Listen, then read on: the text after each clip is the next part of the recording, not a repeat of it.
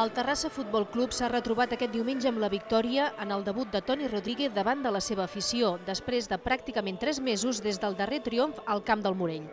11 jornades on els agarencs només havien sumat dos punts de 33 possibles.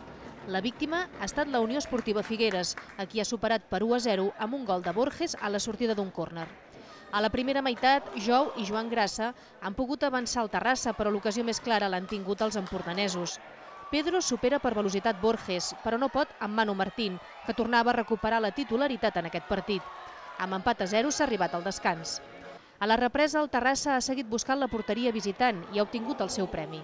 En el minut 58, Borges ha rematat al fons de la porteria un servei de córner de Xavi Boniquet.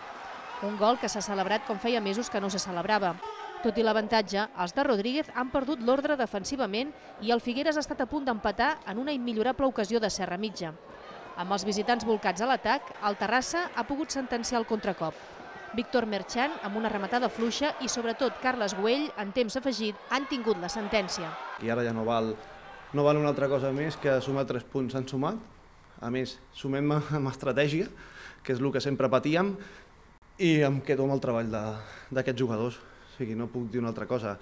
Que han tingut moltes carències? Sí, moltes però entre tres punts. O sigui, ara ja no, val, ja, no, ja no val una altra cosa que no sigui sumar. Sí, però ara tampoc podem pensar que ja està tot fet. O sigui, ara hem guanyat el primer. No ens podem permetre el luxe d'ara viure d'aquesta victòria. Amb aquesta victòria, el Terrassa guanya un lloc a la classificació. És setzè i es distancia 5 punts de les places de descens. Diumenge al camp del segon, el Gavà, escenari perfecte per veure si ha arribat o no la recuperació dels agarencs.